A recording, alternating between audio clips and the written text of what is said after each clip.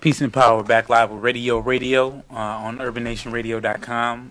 Be sure to uh, check out our Readyo Radio page, R E A D Y O, Radio R A D I O on Facebook.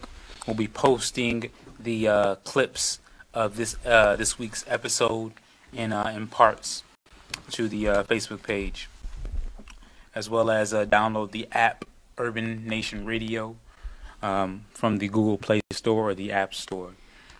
And so uh, before we left, we were talking about uh, self interest, and I gave a brief definition. Uh, but th- this is, and I'll read the definition again for those who, um, since I kind of said it fast self interest. One's personal interest or advantage, especially when pursued without regard for others. So this is kind of go- types into ties into what Malcolm X is talking about by by any means necessary. Um, you know, when when I want to say when immigrants we use that example a lot, but it, it's it's it applies. When uh, immigrants, most immigrants come to this country, they identify or then their research or maybe they got a word from their family members sent sent for them, and they they align with people they have self interest with, and and it just goes back to this definition um, uh, especially with uh, without disregard for, for, for others. So they they're not really concerned about um, anybody that doesn't have their interests. Their primary objective is to align with people that have their self interest. They have their their advance in mind. And so what whatever that goal is, if my goal is to is to create a uh, a radio show, then I'm going to find people that create the that want to create the kind of radio show that I want to create. You know, if that's my goal, then then nothing else matters, and I'm going to surround myself with those types of people. So imagine if your life, you organize your life with people um, around people that have your self interest. And one of the, my good uh, mentors brought this uh, definition up to me when I was asking about, you know, how just getting organized. As I mean, as an organizer, you know, so so many different ways you can be pulled in. And he asked me, "What is my self interest?" And I couldn't, you know, I didn't really give a convincing answer. He said, "Look up self self interest in the in the dictionary." And so that I think that that's very, very, very powerful um, action step and so and solution for everybody to do. Where's your line in the sand, and what is your your self interest? Yeah, we had a um we went to an astrology discussion this weekend, and uh, the astrologer there uh, had powerful words expressing uh, the fact that the Caucasian man and, every, and basically every most other man and, and, cultures, ethnicities are doing exactly what they should be doing. When they have a company, they hire their own people. When they have a store, they go support their store. And us as, as black people, uh, I again I reference a uh, master teacher Asa Hilliard uh, us as black people are people with amnesia. We we don't know where we come from. We don't know who we are today, and therefore we don't know where we're going in the future. And so, um, without a foundation, you you can easily go and be persuaded to support other people's agendas. Or as you said earlier, one one aspect of the self interest definition that resonated with me is without regard for somebody else. So again, in your example, if I'm trying to create a radio show, and here comes Joe Schmo says, "Hey, you want to start a shoe company?" No, I, don't want to start a shoe company. I'm here to start a radio show. And as black people, our self interest has to be we're here to support one another. And when so and so come over and tell you to go work for them, or you know try to get you not to trust your own people, you have to say that's not my self interest. That's not for me. And there's a lot of talk nowadays about how integration is necessary, and I, integration is is how can I put it? Integration is reality. There is no way in shape or form can you live in this world and not integrate or be a part of it, be an integral role in life. However, when it comes to your interests and it comes to your money, you have to be able to do what, what Brother Malcolm experienced over when he took his pilgrimage. You have to you have to realize that people will organize based off how they look, what their culture is, what their ethnicity is, and that's what they mean by like attract like. You know, if you're doing something, you're going to find other people doing it too.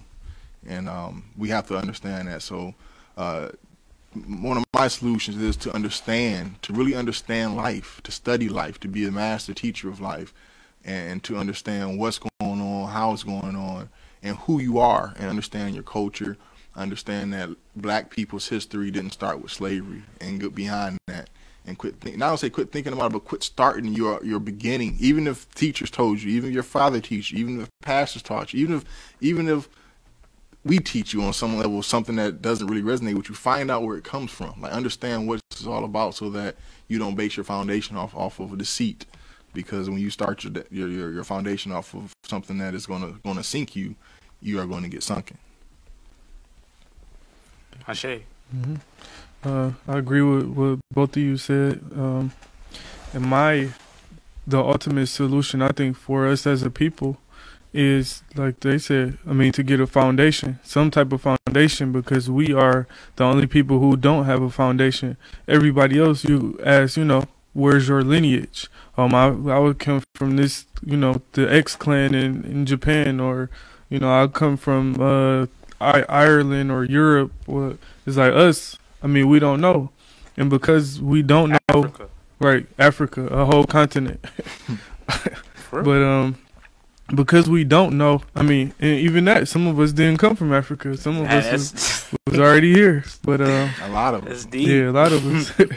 but um, that's the thing. I mean, we we need some type of foundation to base ourselves around because no matter how collective we get or how in unison or how much unity we have, it's still going to be factions because we don't have a base. So you know, we might start together around black, but then oh, I'm a Christian or I'm a Jehovah's Witness, so I can't associate with you. And that's the thing, like even you know, with Jehovah's Witnesses, for example, if you aren't a Jehovah's Witness, they won't associate with you like that.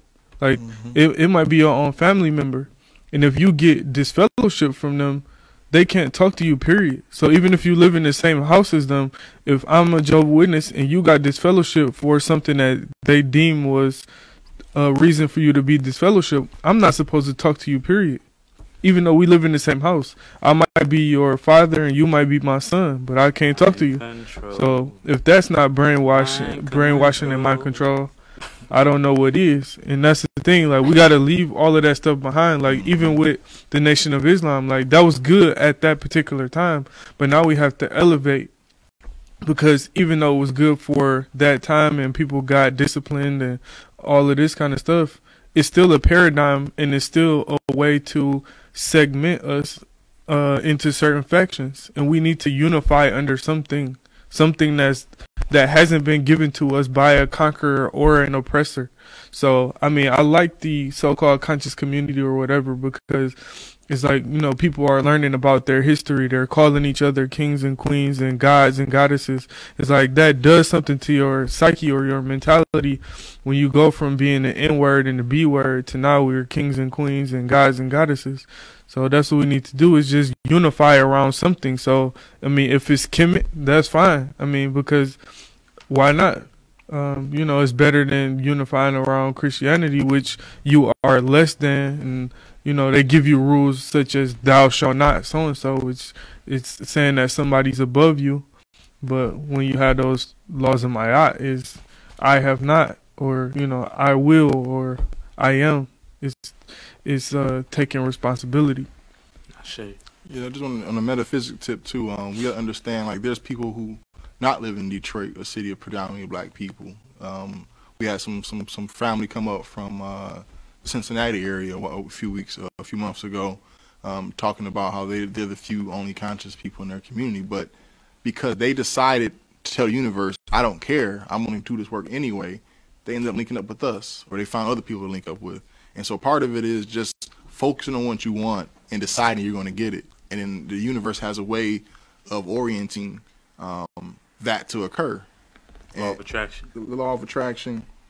Um, and um, so we, we have to understand that there, there's really no excuse. And, and it's making an excuse creates non-action.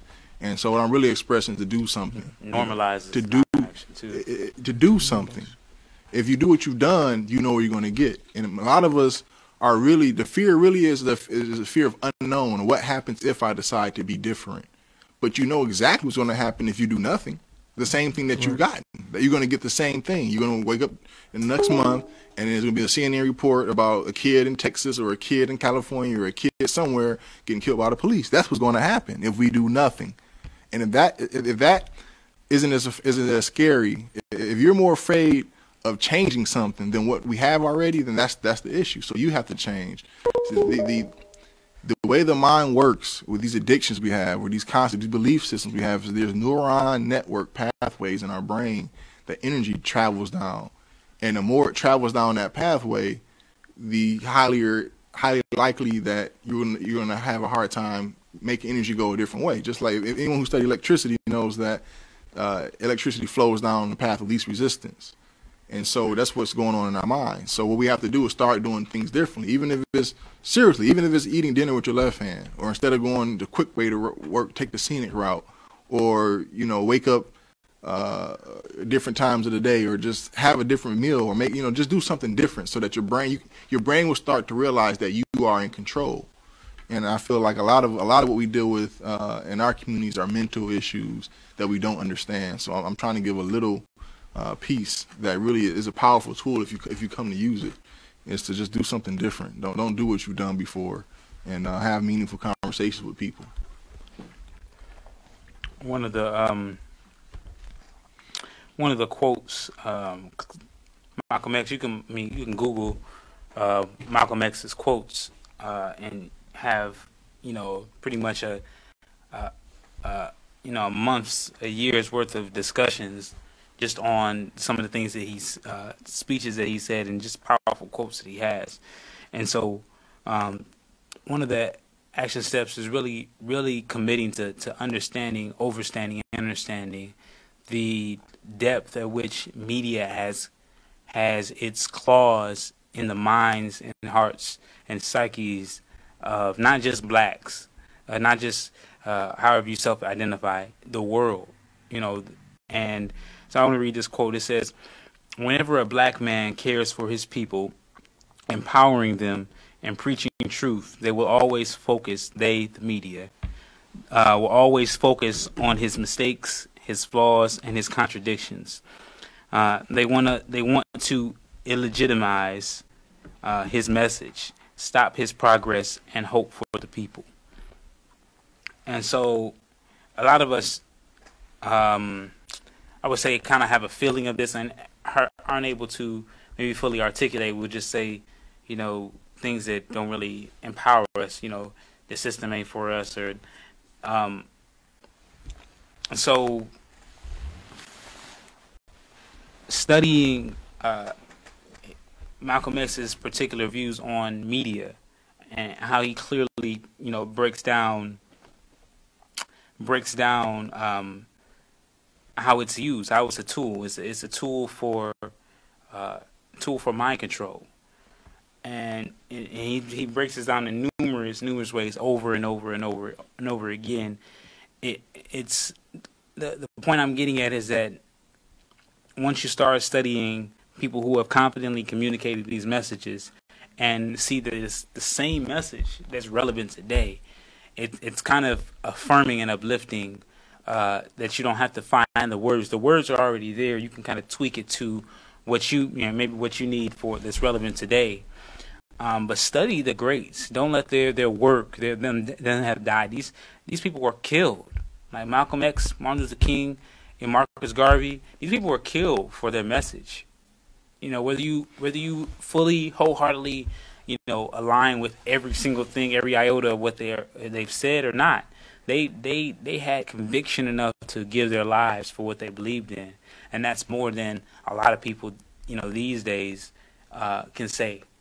You know, so um, first, like I said, in our title is paying homage, and so where you know you deal faced with an issue, you need to ask yourself where has this happened before.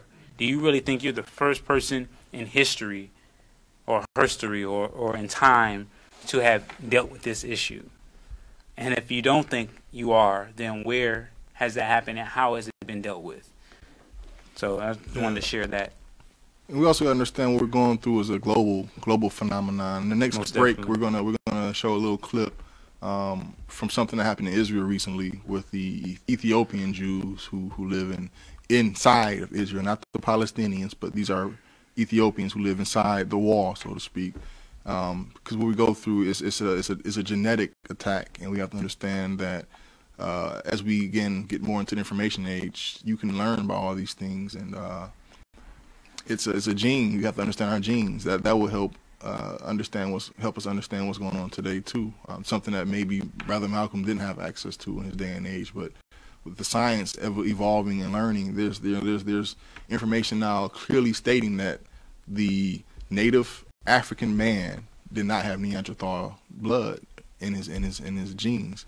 Uh, his genes didn't have you know he he he had a different uh, makeup, and so some of this is also why today we see our, our people being attacked and killed.